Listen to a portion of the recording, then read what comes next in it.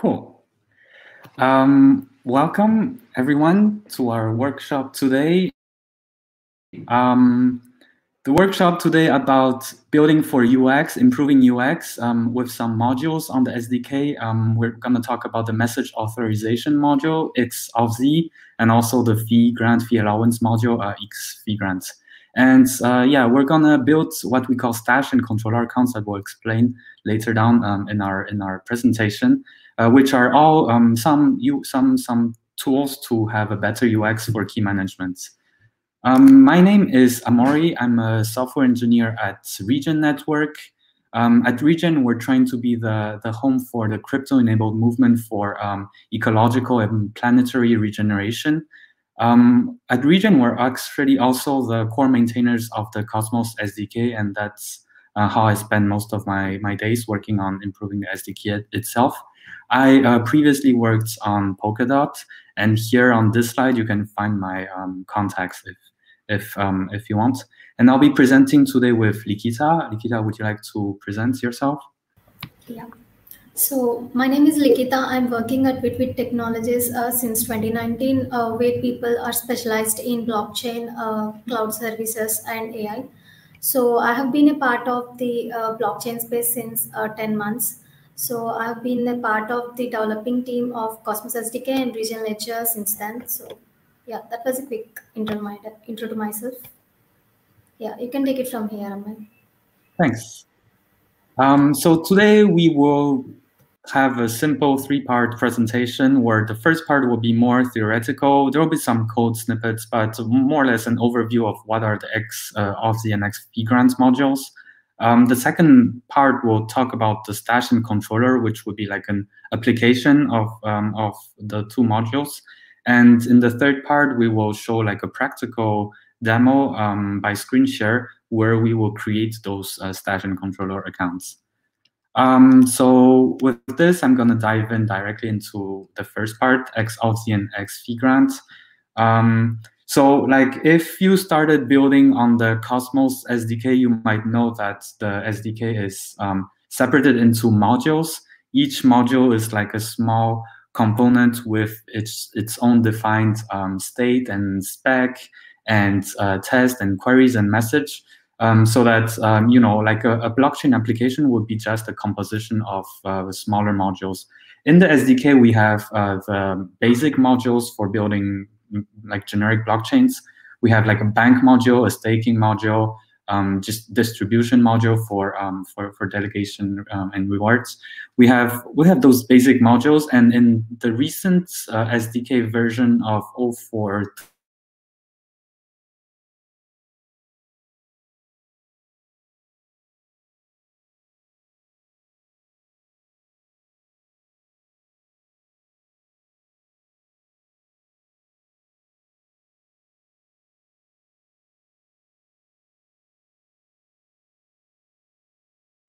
So let's maybe start with the fee grants module. The fee grants module solves the problem um, that new users often don't have fee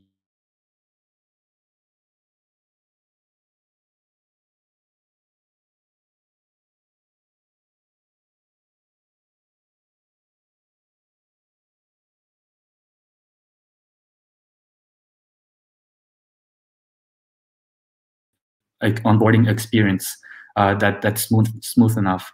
So um, like the first step to give some funds to new users, it, it's hard. Um, you know, like one idea would be to go to an exchange, like a centralized exchange, and to exchange fiat to crypto, but that um, involves a lot of process like KYC. Um, and and there are other solutions, but overall, like fees are a high barrier to entry to to new users, and we're trying to um, yeah trying to solve solve this. Like some example of use case would be, yeah, like I'm, I'm some other use case where like fees is relevant is, for example, um, burner accounts where you want to have like a burner account for yourself. Um, that's also like kind of hard because you need to create one and send some fees to that account. And then you're gonna send some transaction with that account, but maybe there's too much fees. What do you do with the fees that are left in that burner account? Like it's quite hard to send them back. Um, and in the case of Regen, we also have um, like use case for um, farmers and some IoT devices, which might sometimes need to send agricultural and ecological data, the ecological health or states um, of, some of some piece of land um, to the blockchain. Um, and that's something we're building uh, on Regen. And so these um, these like say IoT devices would need to have, um, or like these farmers would need to have also some fees to pay for for their transactions. Um, so there are current solutions to this fee problem. Um, like one of them was the one I mentioned is to regularly fill the account with appropriate funds, but you know how much you fill, how often, and and what do you do with the rest. There are some chains that go with the zero fee model, um, no fees at all. And also in Ethereum, there's also um, this new meta meta transaction uh, feature, which allows users to pay fees with another, um, say, ERC20 token. These are some solutions, but the solutions we're going to present today, um, it's called X Fee Grant. It's a new module on, on the Cosmos SDK. Um, so the idea of the fee grant module is that there's um, a grantor who will have a lot of funds will become like a fee pool, like a fee provider for um, all the like for some for some like you know authorized empty accounts like empty without any funds. So that these uh, these accounts with no funds whenever they want to send a tx from themselves they can pull the tx fees from uh, from a from the grantor. Um, concretely on chain it happens in two steps the first step would be that um, the grantor a will create um, a fee allowance from a to b saying all right i allow account b to use uh, fees on on my from my from my fund from my behalf. And step two, whenever B sends a TX, B needs to specify that uh, A is gonna pay, pay for all the fees of the TX. Um, so like, yeah, let's have a look at say step two, for example, first. Like, you know, imagine uh, someone who doesn't have any funds who need to, wants to send a message. Here we're sending a message vote um, um, in our TX. So the grantee here says, I want to send a message vote, but I don't have any funds. Um, and what I do is that in the fee.grantor field inside the TX, I'll put the address of the grantor. And since like before the grantor already on chain has authorized the grantee to use the fees, um, then the grantee doesn't need to have any fees.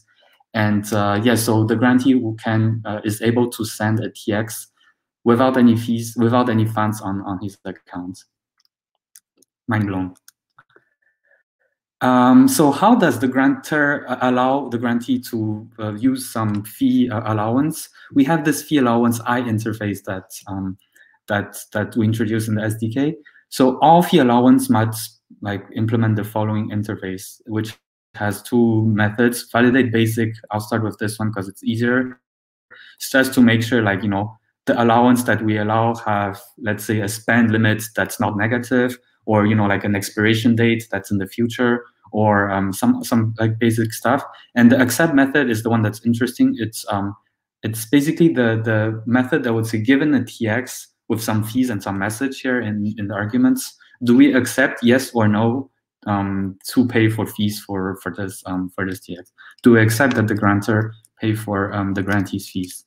Um, so this is an interface, and the reason we chose an interface is to allow um, a lot of uh, different fee allowances based on time, let's say expiration dates. But we can also have think of like a regular, you know, you can spend X tokens per month.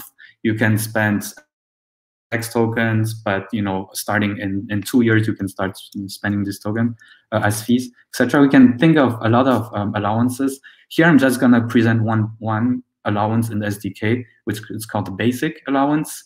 Um, and it's the most basic one where you, you can say that, yeah, you have a spend limit and an expiration. So the grantor allows the grantee to use up to the spend limit tokens for this given period of time.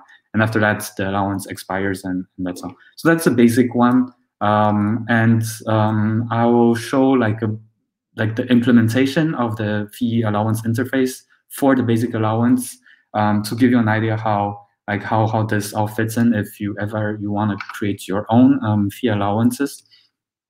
So the basic allowance will have this accept method, and as I said, it takes the fee and the message um, um, parameters from the TX. And basically, in the first if block, we just check that the expiration didn't expire yet. Um, and in the second block, we, che we check that the spend limit um, has not been um, you know surpassed yet.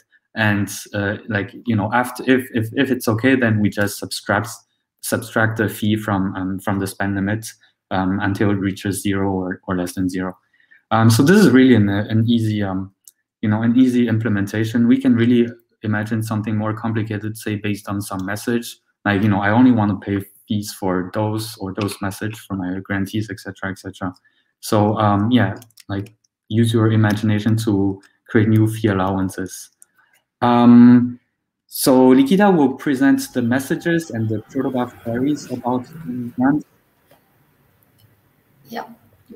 So uh, before getting started with the fee grants, protobuf and me protobuf messages and queries, let us know uh, what are the messages and queries in SDK. So uh, basically messages are the objects uh, where um, we trigger the state transitions. So uh, they are wrapped in the transactions and uh, we may have one or more messages there. So each transaction uh, relied under the uh, relied um, to the Cosmos SDK uh, will have to pass through the uh, base app. So base app will be routing all the messages um, extracted and it routes to the appropriate module. So each module, uh, sorry, uh, each module will uh, um, route it, routes to the uh, appropriate module and uh, it processes to the uh, it processes base to the right server. So it will be using message service in each module. And for the grants, a for the queries. Uh, so a query is basically the request for the information uh, by the end users. So uh, we'll be uh, in the base app, we'll have a query router uh, which will route uh, all the queries uh, from the transaction and it gives to the appropriate module and processes through the message um, query service. So while getting onto the message grant allowance, so we'll be uh, having, a, we'll be giving permission for the grant. So the grant can spend up to the allowance or the the allowance like fee grants, uh, fee grant uh, allowed to the grantor, allowed from the grantor to the grantee. So we'll be having the fields of grantee, grantor, and the allowance. And coming on to message revoke allowance, uh, we'll be removing or detaching all the uh, existing allowances or fee granted to the grantee uh, from the grantor account. So we'll be having the grantee and grantor fields here. So uh, next slide. Um, so query allowance. Uh, in query allowance, uh, we'll be querying for the list of allowances uh, given by the grantor um, to the grantee. So we'll have the fields of uh, grantor, grantee. Um, and coming on to query allowances, uh, it is the request type for the allowances RPC method. And here we'll uh, query for all the fee grants given, given to the grantee. So we'll only have the field of grantee here. So yeah, that was a quick description about protobuf messages and queries of fee-grant. Thanks, Yeah. um, cool. So let's move on to authz then in this case. Um, so fee grant was really about paying fees, right? For that the grantor to like for the grantee to pay fees if, if new users don't have any fees. authz solves another problem. Um, it's um, to grant a sub account like a restricted set of powers from the from the root accounts. I, I gave here two use cases. Um, the first one would be like a um, company which would have a root accounts with, with supposedly a lot of funds. Um, and that company could grant, um, you know, like an authorization, like a restricted uh, authorization to use the money from from the from you know from the company root account, and not only to pay fees, right, but also to pay actual to send funds from to, to you know buy stuff or other stuff. So like in this case, the root account would grant us uh, like an authorization and authz authorization to some of the employees to perform some actions. Another one would be like um, if you have a multi-sig in which in some organization you have like a K out of N multi-sig um, to send funds or to do like important actions, but maybe like some of the you know some of the messages some of the actions that this multisig um, does does does not need to have all the member keys or like the k the threshold member keys to sign. Um, so the multisig can decide to grant let's say voting permission like every time you send a message vote. Um, this this could be done with only one member key um, and not the thresholds k uh, member keys. So these are some examples of use cases of um, yeah the the authz um, that's trying to that authz is trying to solve. How it works concretely um, on chain is that the grantor will create an on-chain uh, authz grant. So we will store the fact that you know grantor allows the sub account to use message vote or message send or some other stuff. And uh, the step two would be that whenever the sub account the grantee wants to execute, um, he can execute a nested a TX that we'll see in the next slide and under the grantor's name. And that the sub account doesn't need the root account's um, signature to actually send a message on behalf of the root account. So let's maybe have a look at the second point first, um, more into details. Um, so here the grantee, the sub account, execute a, next, a nested message. So the, the top message, the real message is the authz message exec um, to execute a message and the message that's executed is message vote. And note how like in the message exec, the this like the the signer or like you know the creator of that message is the grantee. But for message vote, uh, the voter here is grantor. So here, like you know, we are saying that grantee has full power to use message votes on behalf of grantor. And also note that in the signature, we only need uh, the grantee signature. Um, and that's because like, you know, when we send this TX into the node, the node will see that there's like a relationship between grantor and grantee to use um, this message votes authorization um, and that this transaction will be uh, fully allowed. Um, again, mind blown. So how does this work concretely? Like if you want to create yourself and integrate authz into your, your chain, um, so the solution is that we will, like the grantor or the root account will um, create allowances based on message types. You can only, like the authz is, um, yeah, is, is modeled on the way that um, one account allows the other account to execute one type of message. In our previous example was message votes, um, but it can be, you know, message send or message delegate or, or any other message. And that's um, in the authorization interface that represents an authorization. That's what the message type URL um, represents. It's um, like concretely will be like, you know, the the fully qualified protobuf name of the message, which, which looks like cosmos dot uh, let's say gov dot v1 beta 1 dot message vote. Um, that will be what's returned here in the message type URL string. Um, it also has like very similar to fee grants. It also has like validate basic, um, and again, like this is just to check some stateless, uh, simple checks about the authorization. Um, you know, we can imagine like uh, also an expire expiration date for for the authz authorization. And finally, we have the accept method, um, which takes you know the message and and decides yes or no. We are going to accept. Um, you know, the grantor is going to accept the grantee's message. Um, so this is like uh, for exactly the same reason as this fee grant, we decided to use interfaces to allow for um, people in their own chain to be able to create their own kind of authorizations. In the SDK, we have like three, maybe like yeah, two or three authorizations that are hard coded. Um, we can show this one, the stake authorization. So the, the stake authorization, it's in the X staking um, module. The stake authorization says, says basically that the root account grants the sub account um, an authorization to perform either message delegate or message undelegate or message redelegate. Uh, it's also here in the enum. Um, and uh, there can be some other optional um, parameters in, in those message that the sub account can or cannot do. For example, uh, we can set like a max number of tokens that the grant that the grantee can use um, to to delegate on behalf of the grantor. We can also, you know, decide that the root account only wants a, a certain list of validators to be um, to be delegated uh, to, or uh, on the contrary, like a deny list of uh, validators we don't want to delegate tokens to. Um, and yeah, and there's a, a validator and an authorization type, um, which is like an enum for the three messages. So this is like a basic, um, yeah, like a basic authorization from authz to decide whether or not someone can delegate. And we'll use this actually stake authorization later on in our uh, stash and controller demo. So um, that will be useful for, for later. Um, and um, like previously, Likhitha will present uh, the proto messages and queries for the authz module. Yeah.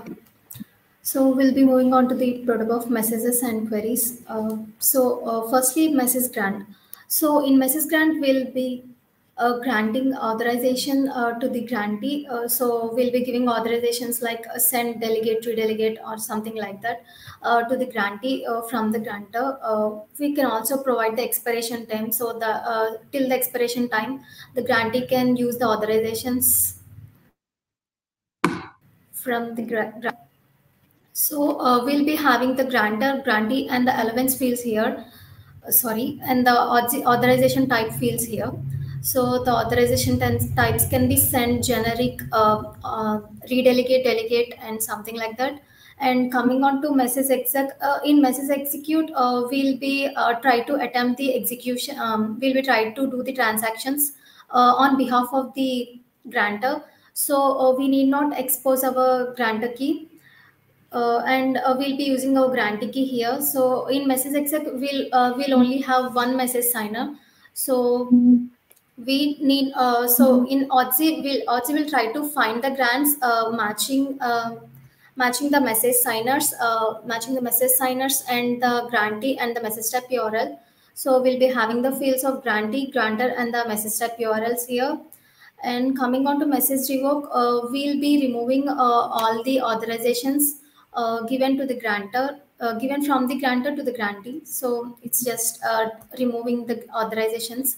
So we'll be having the grantor and grantee fields here. And we can mm-hmm. also provide the message type uh, so that we'll be removing only the uh, specified message type here. And while moving on to the queries, so uh, can you yeah. move this slide? Yeah. Yeah, we'll be having query grantor grants. Uh, in grantor grants, uh, we'll be uh, querying for the list of grants provided by the grantor. So we'll just have the grantor field in query grants, uh, we'll be trying, uh, we'll be listing all the grants given by the grantor to the grantee. So it will be grantor, grantee, uh, and optionally we all we can also have a message type URL so that uh, we'll get the list of grants uh, with that message type only. Yeah, that's it. Cool. Um, so that was it for the high level overview of um, the X fee grants and X authz modules. Um, so yeah, in this second part, we'll we'll actually use them to create to use like like to, to have them use uh, for a concrete use case for improving UX, and that's uh, what we call stash and controller accounts. Um, like if if you come from probably the Polkadot world, you might have already heard like the stash and controller accounts. These vocabularies taken from there. Um, as I said, I previously previously worked on Polkadot, and I thought that this was like a good um, idea and a good like UX for managing um, uh, staking operations. And I was thinking like you know how to bring this into uh, the Cosmos world, and uh, fee grant and authz like is a good solution, and we'll we'll see why. So first is understand like the problem that session control accounts is solving. Um, the idea is that um, like in you know with with proof of stake we often have a list of validators and as delegators as most you know most people most token holders most atom holders are we are or other chains holders are we are just um, you know gonna delegate not validate and to delegate we might choose like a validator and, and delegate for that validator for a long time but other people uh, actually often like to change um, and redelegate often and and you know do research and, and choose the, the right validators with um, you know with the most uh, rewards or the most um, um, like the less risks so I think um, staking operations is not like a one-time thing, but uh, but a continuous and regular operation. And if you want to redelegate often, currently, what most people do, I see like basically two types of um, main um, UX. The first one is hardware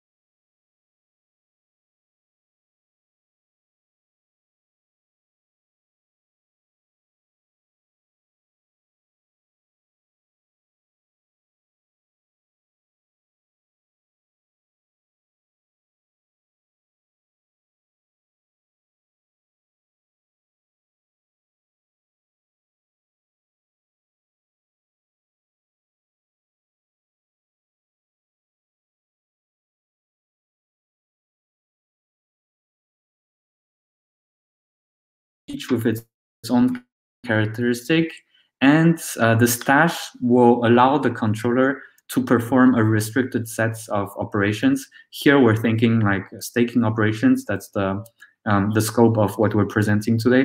Um, so the controller can perform um, delegation or redelegation or undelegation on behalf of Stash, but uh, the controller cannot do anything like else on, on the on behalf of Stash. Like the controller will never be able to move the funds uh, of the Stash wallet to another wallet, or uh, the controller would not be able here in our case to to vote.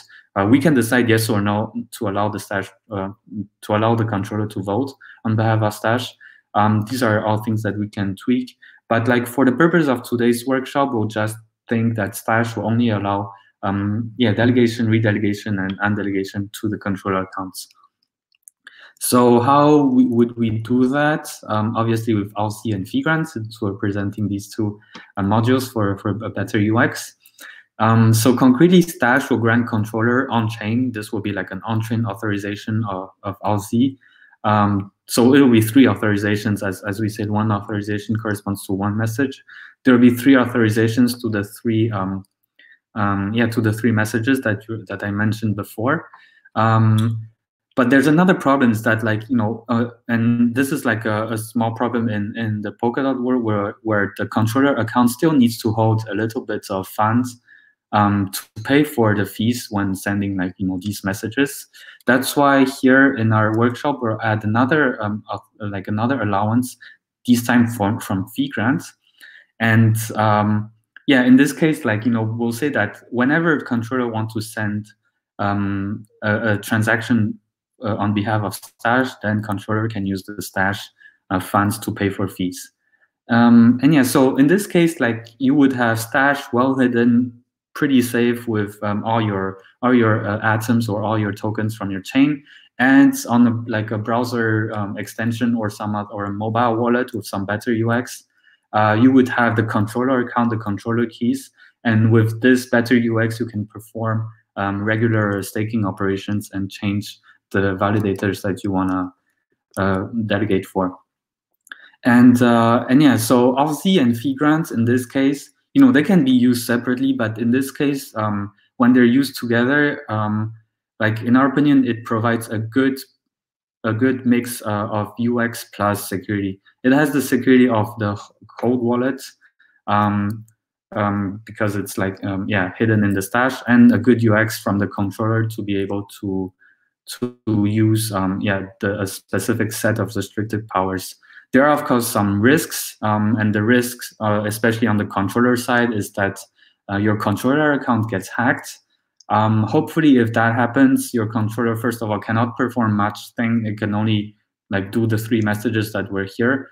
Um, but yeah, but obviously you can say redelegate to a malicious validator and get slashed. That's of course a potential risk.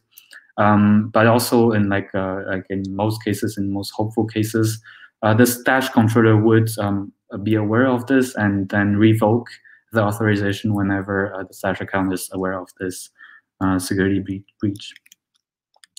Um, cool. In this case, let's um, maybe go into the demo uh, time of Stash and controller accounts.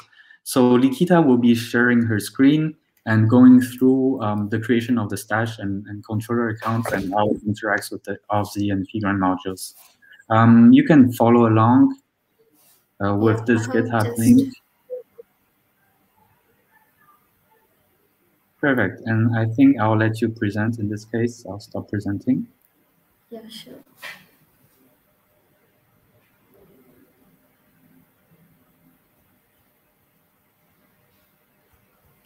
So can you see my screen? Yeah, perfect. Yeah. So, yes. uh, yeah. So we'll have two scripts for the demo. Uh, one is for running the road, uh, node uh, and uh, one, is, uh, one other is for uh, setting up the stash and controller accounts and performing the transactions. So I have already cloned the repo as I have pasted in the chat. So you just need to clone the repo and we'll be starting with your first step. So I have already cloned the repo and kept it on my desktop. So I'll be changing my directory to there. So we'll be performing our steps from here. So I have this uh, script to uh, script hackathon node uh, to set up the local node.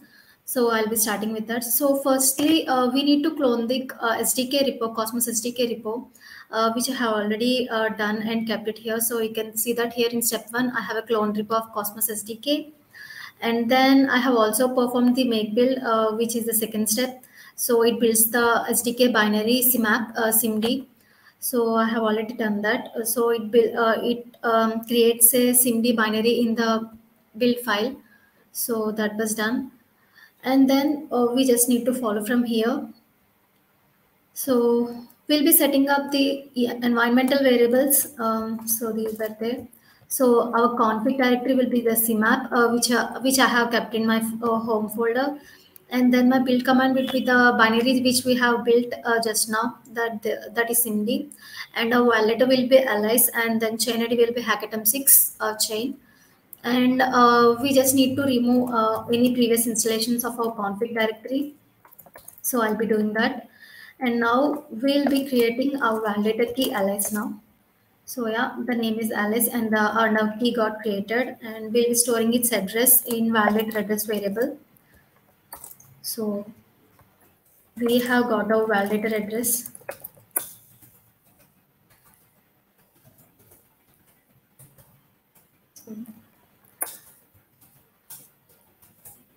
So we can see that here. And now we'll be initializing our steps for initializing the chain. So yeah, our chain got initialized. And uh, first we need to add a Genesis account uh, with some thousand million stake with our validator address. And then we'll need to perform a Genesis transaction of some 100 million stakes. So our transaction will be returned to the config files, uh, Genesis files in the config folder. And now we need to collect all the Genesis transactions. So I collected all my transactions and now we just need to start our chain with a minimum gas price. So I have set a minimum gas price of point some value. And you can see that our chain got started uh, and height is one. So we are done with setting up our local node. So we'll be starting with um, step two. So in step two, we'll be setting up the accounts for the stash and controller. You can see here. So this is the script for that. So again, we need to set up our env variables. So I have done with our env variables and uh, these were the same as the previous ones. And I, I, I added the minimum, minimum fees of 20 stake, uh, which we'll be using in our transactions. And we need to create our stash and controller accounts now. So the stash will be the stash key and controller will be our controller key. And uh, we'll also store our validator address um, since uh, we need to use that in our uh, performing transactions later. So this is our validator address. So yeah. And now we'll start with creating the stash account. Uh, our account got created and now we'll be storing it at uh, its address in stash address Likewise, we'll be doing that for controller as well. So I, I created my controller account and I'll be storing my controller address here in the controller address variable. And now uh, I need to have funds to my stash account. So I'll be sending that from a validator. So I sent like some uh, 10 million stake. So the code is zero. So the transaction is successful. Uh, now uh, we'll be performing uh, authorizations, um, granting authorizations to from the stash to the controller. So I'll be giving uh, three authorizations, which will be message delegate, uh, redelegate, and unbound. So this is re this is delegate transaction. So the code got zero, and so the transaction is successful. And like this, we'll be performing for message unbound so we uh, we are giving authorization to unbound for the controller address. Likewise, for the message redelegate. So yeah, this also got successful. So we'll be querying for all the grants now. Uh, we have two grants, as I had said earlier. Uh, we can query using the query grantor grants and the grants. So I'm I'm using grantor grants. So I need to give the grantor address. So grantor will be the stash in this case. So I have got the three messages uh, through three authorization types, which were delegate, redelegate, and undelegate. And likewise, uh, we can also query this using the query grants. So in here, we'll be giving both the stash address and the controller address. So the controller, uh, the authorizations for the controller address will be given here. And now we'll be setting up a fee grant. So I'll be setting up a fee grant of 200 stake. So the controller can access up to 200 from the account of stash. So the code is zero. It is successful now. So we'll be querying this now. So I need to get 200 stake. So as, as I said, uh, we got 200 stake now. So we'll be querying all the grants from the controller account. So this is the second type to query this. So yeah, I got 200 again. Uh, now we'll be performing uh, staking. So we'll be staking the 42 uh, tokens and we'll be uh, copying the message to the some JSON file. So you can see um, the output from this command has, uh, I, I have stored it in tx.json. So the message is here. So we'll try to execute this message using the authorization given to the controller account. So we'll be performing using the controller account. So I was trying to execute this transaction, which is in tx.json from the controller. So we got code zero and the transaction is successful now. And uh, since that we used, uh, we have set minimum fees to uh, minimum fees to 20 stake. Um, now, if we query the fee grant, we need to have 200 minus 20, which will be 180. So it's done. And now we'll be querying for the delegations from the stash account. Uh, since since that we delegated 42, we need to have 42 stake here delegations. So yeah, we got 42 and now uh, we need to rework all the delegations now uh, in order to see that um, if we uh, if we revoke all the delegations we couldn't perform the authorizations given to the grantee.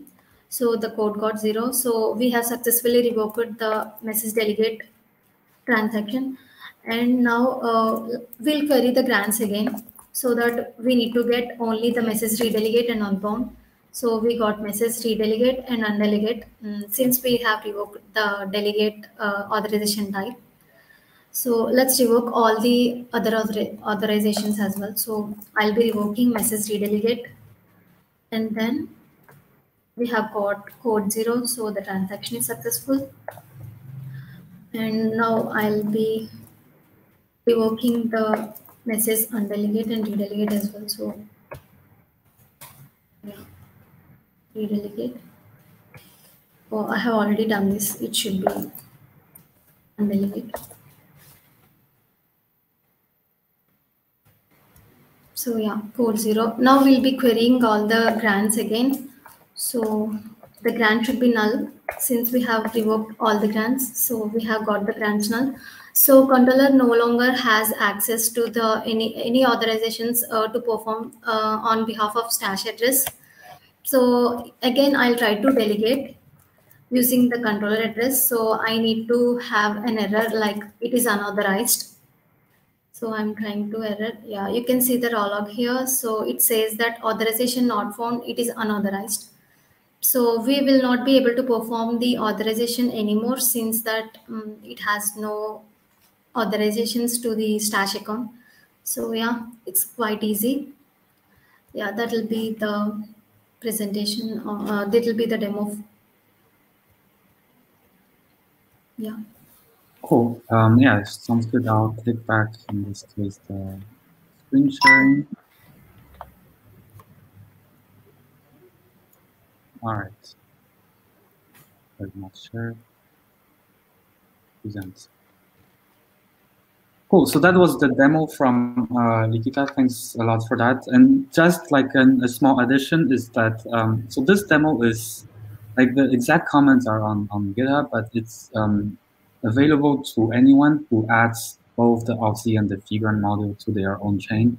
And, uh, you know, adding the, those two modules is as simple as putting like those two, importing those two modules inside your app.go and wiring up um, the correct dependencies.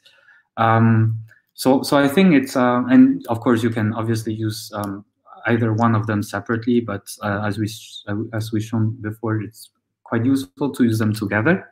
Um, and uh, and yeah, and start to play around with these uh, authorizations, um, how to use them.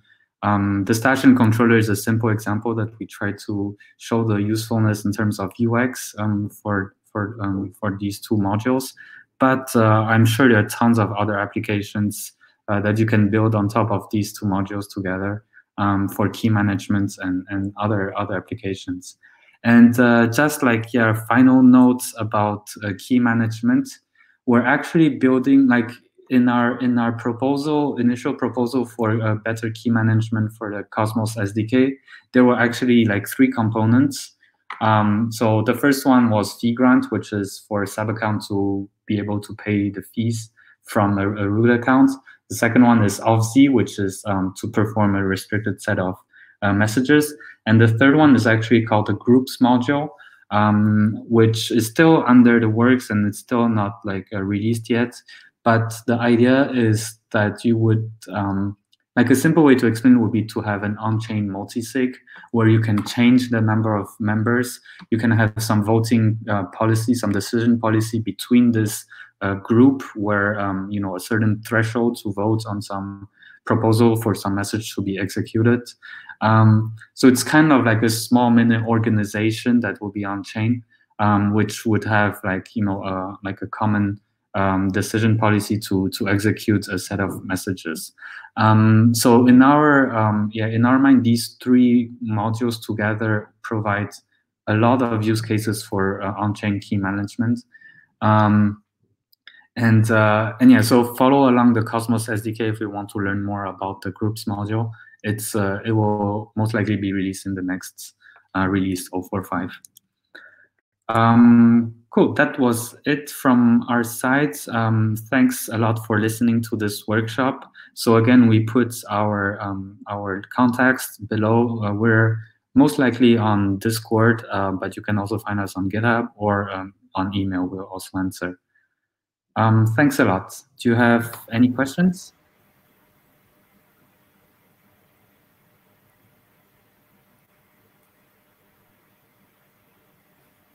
I'm gonna go back here and stop sharing.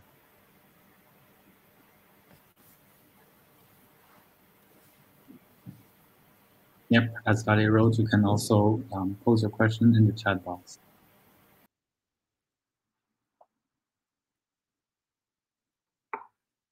All right, could you post the repo in here for instructions? Yep, um, I'll copy paste that again.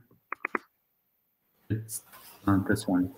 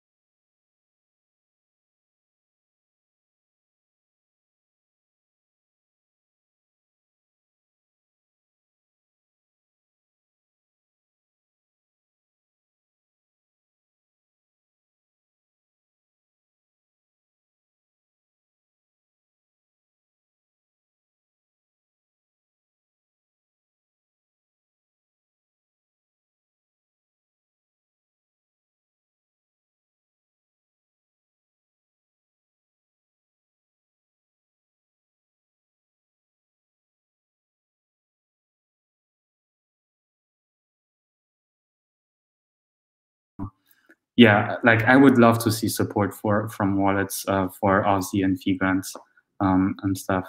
And uh, yeah, maybe it's not going to be a, a wallet uh, itself, but maybe like a DApp, could, like a, you know, like a staking DApp, um, which could also support this feature, um, like you know, communicating with a wallet for signing messages.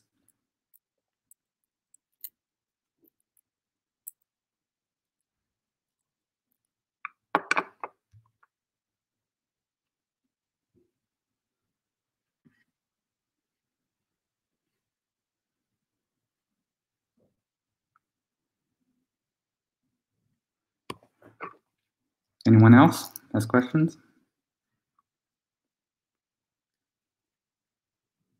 The authz can be used with any SDK message. Yep, that's correct. If if you grant, if the root account grants something to the sub account, this something in the middle can be any SDK message. Um, yeah.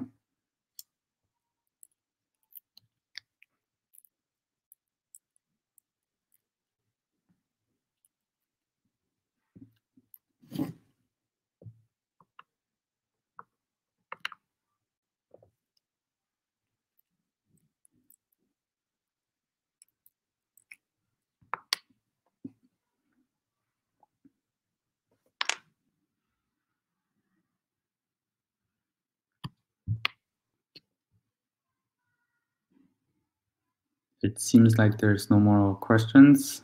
Uh, Vale, should we stop here or wait a bit more?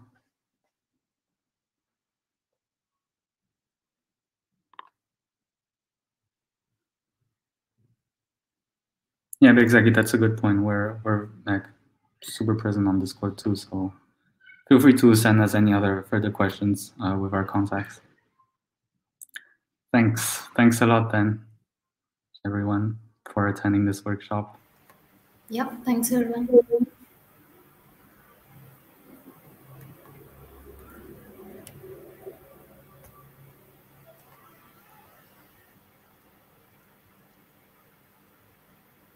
Thanks. Bye-bye.